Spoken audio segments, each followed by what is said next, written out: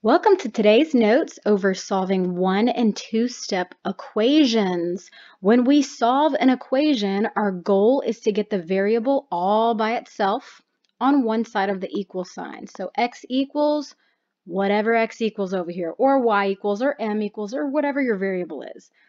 One of the things that I'm going to ask you to do today, or if you ever see two signs in front of a number, such as minus a negative, we're going to combine those signs to make a positive.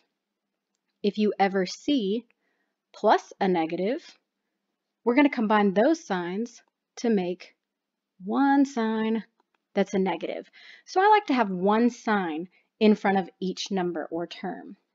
So when we're solving one-step equations, it will you will use one step in order to get the variable all by itself on one side of the equal sign.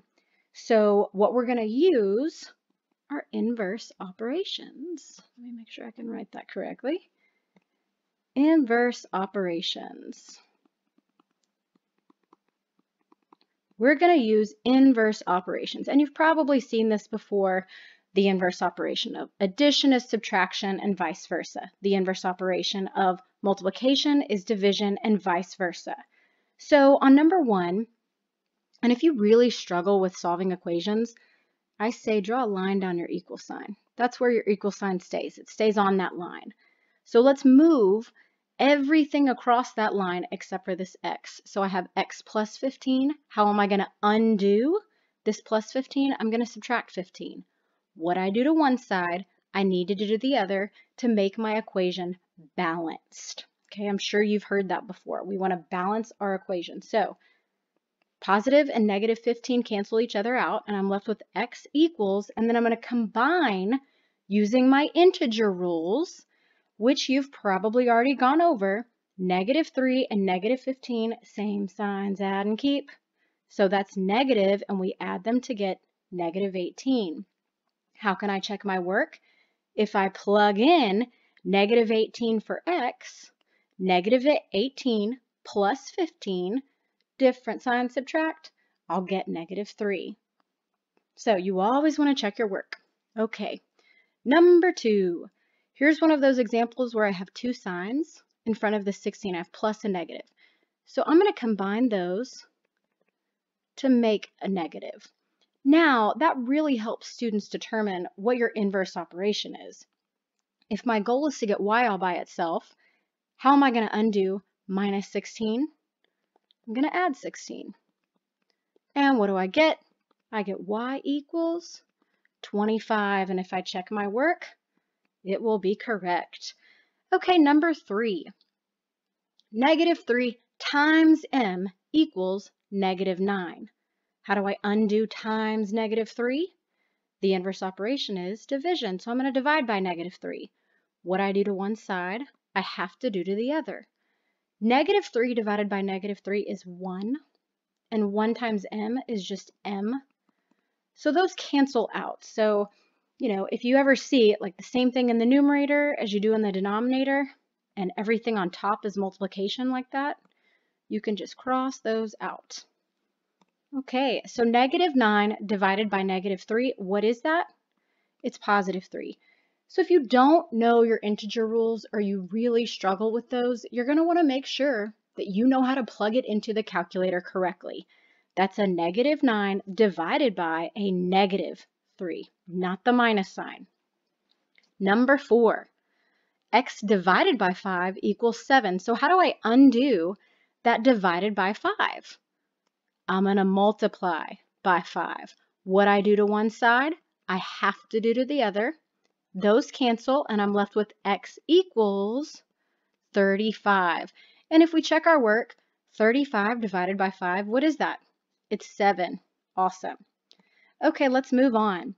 So now, what do you notice about 5 and 6 that we haven't done before? We're dealing with fractions. When you have a fraction times a number, we're going to be multiplying by the reciprocal. So let's first talk about why we do this. So this is multiplication. That's one third times x. Okay, well, how do I undo multiplication? I divide. What would I divide by? One third. Okay, I would divide by 1 third over here. So how do you divide by a fraction? Do you remember what you do? Do you remember that rule? If I have negative 1.5, which I'm going to write that as a fraction, negative 3 over 2 divided by 1 third, do you remember the rule? Keep, change, flip, copy, change, flip. You keep this negative 3 over 2. You change this to multiplication and you flip this. When I flip a fraction, that's the reciprocal. Okay, so the reciprocal of 1 third is flip it 3 over 1. So what am I doing when I'm dividing by a fraction? I'm multiplying by the reciprocal. That's our rule here. Okay, to get rid of this fraction, instead of dividing by 1 third, we're going to multiply by the reciprocal because it's the same thing. What's the reciprocal of 1 over 3? It's 3 over 1, which is just 3. So now if I take this side and I multiply it by 3, I get x equals negative 4.5. Let's go on to number 6. Negative 3 fourths times x equals 9. Okay, I've got a fraction times a variable. I want to get the variable all by itself. What do I do? I multiply by the reciprocal. Flip it. That's negative 4 over 3. What I do to one side, I have to do to the other and you get x equals, and then if I'm multiplying fractions, that's going to be 9. Anything is, any number is itself over 1 times negative 4 over 3. So when I multiply fractions, a positive times a negative is a negative, and then I've got this 9 and 3, I call it cross simplification. I can simplify this 9 and this 3 by dividing by 3. 3 divided by 3, that's 1. 9 divided by 3, that's 3. And now I've like pre-simplified and I don't have to simplify at the end. And remember when we multiply fractions, we just multiply across. So I get negative 12 over 1, which is just negative 12. Okay, we are rocking and rolling. Those are one-step equations. Let's now go to two-step equations. So in a two-step equation, I want you to think about when you're your goal stays the same. It's still get the variable all by itself on one side of the equal sign. So I got to move everything else to the other side. How do I do that? There's a process. Okay, I'm going to do reverse PEMDAS. I'm going to do go in the reverse order. So the first thing I'm going to do is I'm going to undo using inverse operations, addition and subtraction. So I'm going to undo this first. Then second, I'm going to undo multiplication and division. So that's this next. I'm going to go in reverse order. So let's look at number 7. Okay, my goal is still to get the variable all by itself. So that's 2 times x plus 9 equals negative 7. I'm going to undo this plus 9 first by subtracting 9. What I do to one side, I have to do to the other. Negative 7 minus 9, same signs, add and keep. Negative 16, again, you can always plug that into your calculator. Now I'm undoing. This looks like a one-step equation, right? So we did our first step, and now we have one more step. That's why we call it a two-step equation. So I'm going to divide by 2 on both sides, and I get x equals negative 8. Keep in mind your integer rules. Number 8. If you don't like this line that I'm drawing down your equal sign, you absolutely don't have to do it. I just know that when I've taught upper level math, I really like the equal sign to be all lined up. It's just nice and neat and it's easy to read. It's just, you can keep up with your work and teachers love it. So I'm going to undo, I'm going to get this variable all by itself on number 8. I'm going to undo the subtraction. How do I do that? I add 10. What I do to one side, I have to do to the other. I'm left with negative x over 2 equals 1 plus 10 is 11. Now my goal is to get x all by itself, not negative x. So how am I going to undo this division? What am I going to multiply by? 2 or negative 2? Negative 2. What I do to one side, I have to do to the other, and I'm left with x equals negative 22. Let's move on to number 9. Oh, look, Which side is the variable on, left or right? It's on the right, but that's okay. If you don't see anything in front of that variable, what can you put there?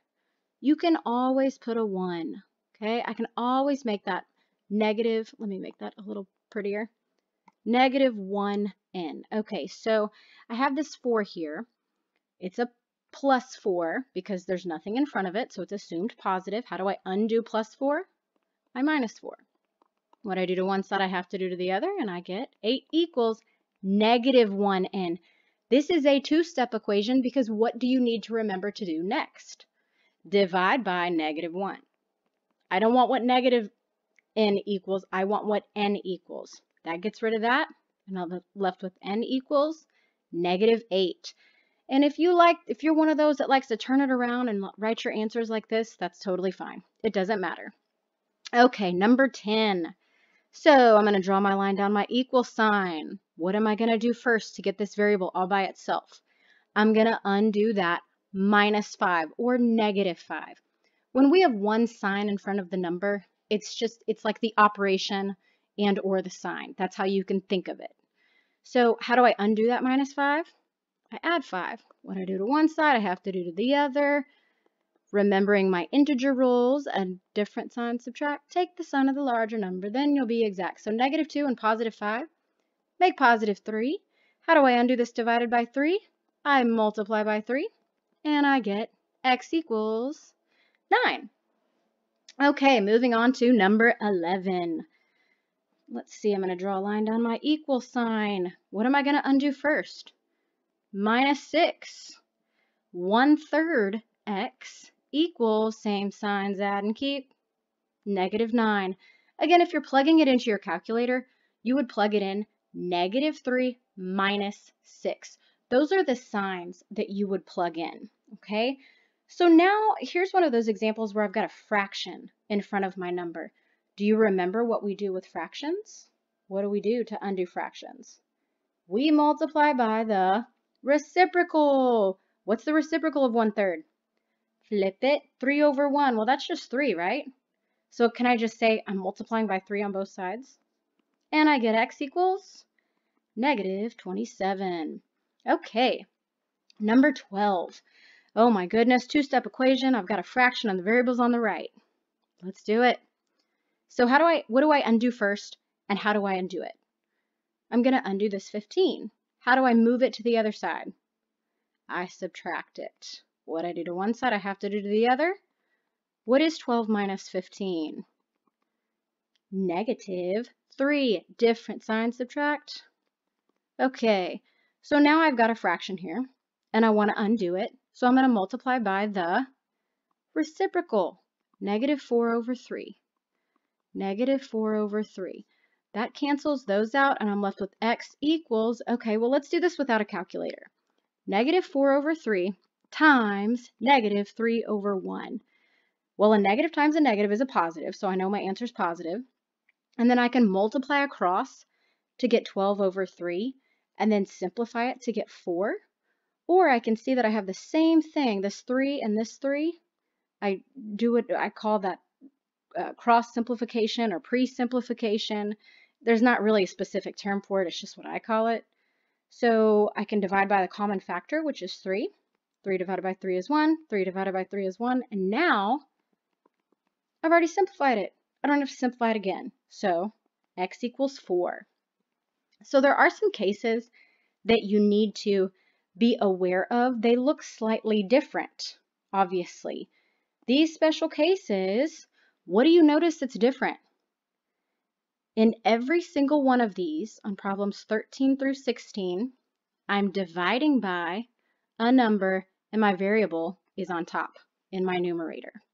So there are assumed parentheses in your numerator, okay? In all of these, there's assumed parentheses.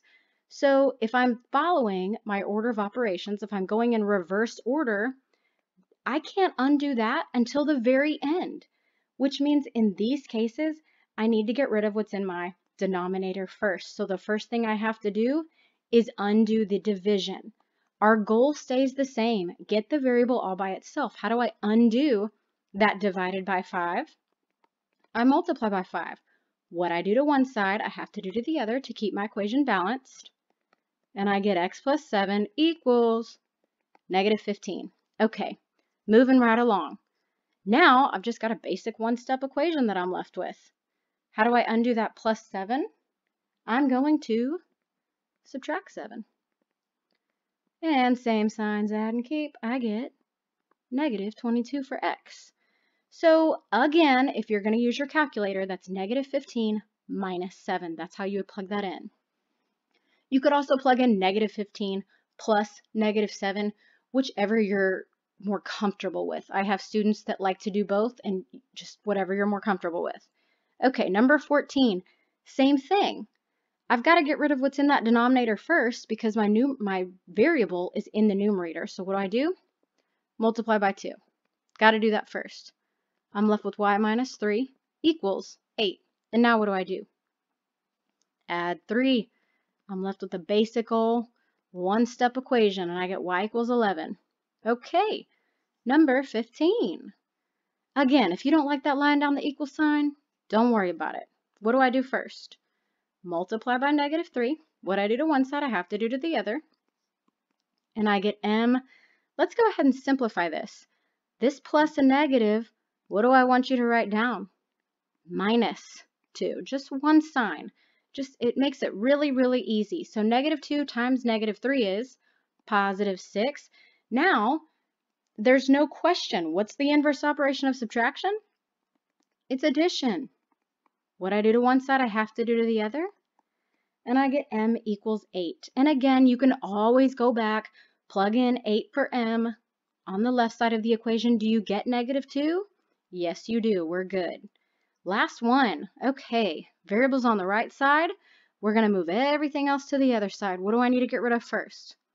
This 4. So let's multiply both sides by 4. 5 plus a equals, what is that? Negative 28. Now how do I do the undo this 5? It's plus 5, okay? So how do I undo plus 5? I'm going to subtract 5. And I get a equals, same signs add and keep. We're going to add them and keep the sign. A equals negative 33. And that concludes your notes over solving one and two step equations. I hope it was helpful.